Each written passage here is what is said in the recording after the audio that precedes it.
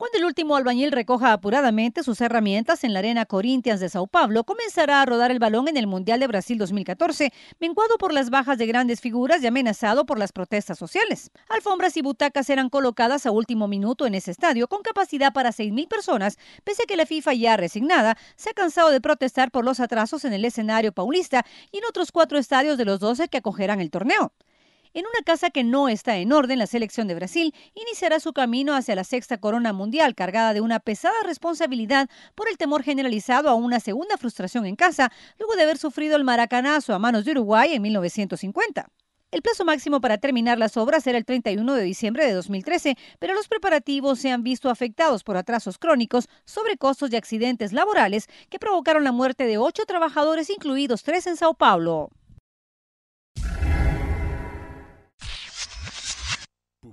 Lo más importante de las noticias, un diario internacional de Metro y del grupo Emisoras Unidas, 50 años.